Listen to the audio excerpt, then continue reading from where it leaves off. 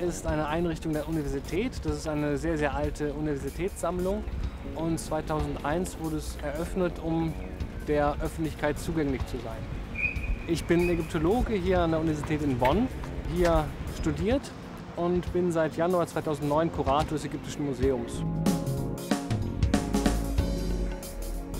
Also die Flasche befindet sich seit 2001 in der Ausstellung, die auch gezeigt wird, äh, in der Dauerausstellung. Und äh, ich habe immer gedacht, ich hatte als Student auch die Ausstellung mit eingerichtet und habe immer gedacht, dass dort äh, etwas innen drin sein könnte, weil die Flasche original verschlossen zu sein schien.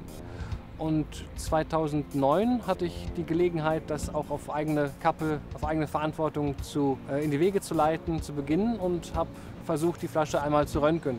Und bei den Röntgenaufnahmen ist eindeutig zu sehen, dass sich noch originaler Inhaltsrest in dieser Parfumflasche befindet. Wir erwarten noch die Originalbestandteile des äh, alten Parfums zu finden. Das ist das erste Mal, dass wir an ein pharaonisches Parfum herankommen und dass wir einmal riechen können, wie die Pharaonen geduftet haben. Wir haben kein einziges Beispiel für irgendein königliches Parfum. Das ist das einzige Parfum, das wir besitzen, wahrscheinlich. Am Anfang war ich etwas skeptisch, weil ich mir nicht vorstellen konnte, dass das äh, Untersuchen eines 3500 Jahre alten Gefäßes zu sensationellen Ergebnissen führen könnte. Es ist natürlich von Interesse, was haben die Leute in der damaligen Zeit für einen Geschmack gehabt? Was haben die bevorzugt? Also die Flasche gehört einem, äh, einem privaten Leihgeber und ich weiß vom Besitzer, dass sie aus dem Grab der Hatschepsut stammen soll.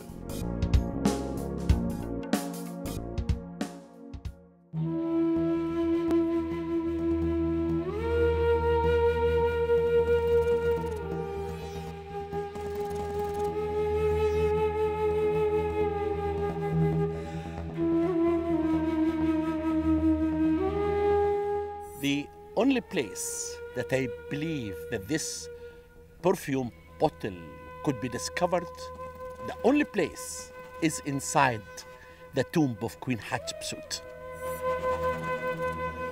Queen like Queen Hatshepsut, what is a lovely thing that she can enjoy in the afterlife is actually to smell favorite perfume and the remains of this perfume could be in a bottle that contained her name, then she can recognize this type of perfume in the afterlife.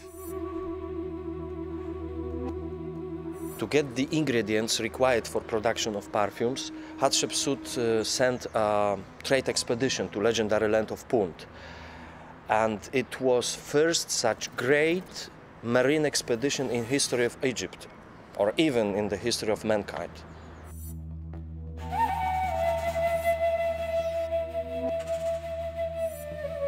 Egyptian took from Punt the myrrh trees and incense, and they offer the incense for the Queen Hatshepsut in the tenders of Thutmose III.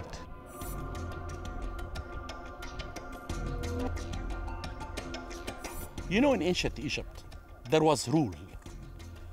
Women cannot be pharaohs. Only male or men has to be pharaohs. But the other important thing, that men cannot be pharaohs without the support of women. If you look at Hatshepsut, she's the only woman that ruled on the time of power. Dieses Parfum wird der Königin noch einmal eine göttliche Aura verliehen haben, einen Wohlgeruch, den die anderen Untertanen nicht hatten. Deshalb, ist Parfum, gerade königliches Parfum, wahrscheinlich etwas ganz, ganz, ganz, ganz Besonderes. Queen Hatshepsut uh, was with no doubt a very ambitious and intelligent woman. Uh, she was a daughter and wife of Pharaohs, but it was not enough to rule the Egyptian empire. To actually get the power, she used Babylonian magic's knowledge and skills. She used Sarpanit's ancient magical perfumes. um, the secret formula protected by the magus was revealed to the queen by her closest advisor, Senenmut. Her reign is unique because Senmut chose the first tomb in the valley for Queen Hatshepsut.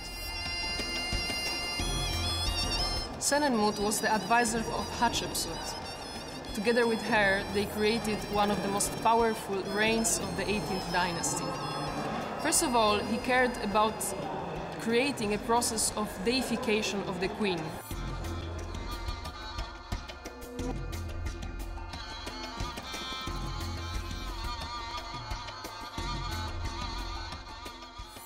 Who was the real ruler? Hatshepsut or Senenmut? Wait, no, we shouldn't say it like this. But they were, they were supporting each other.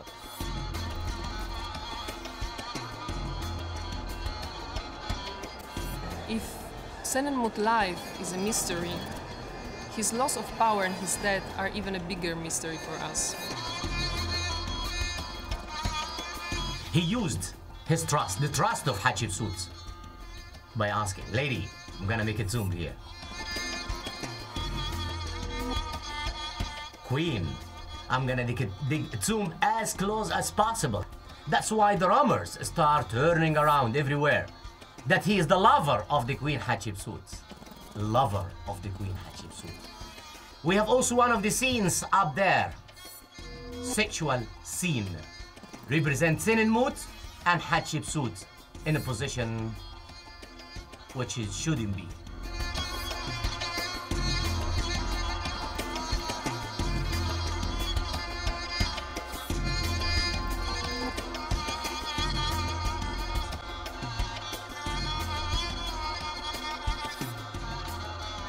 Then if you look at the temple of Queen Hatshepsut at Deir al-Bahri, the most beautiful temple built by this genius architect Senmut, there is many destructions here. There is many damage happened to the statues and the tombs. Everyone thought before that this damage happened by Thutmose III. This is not true anymore.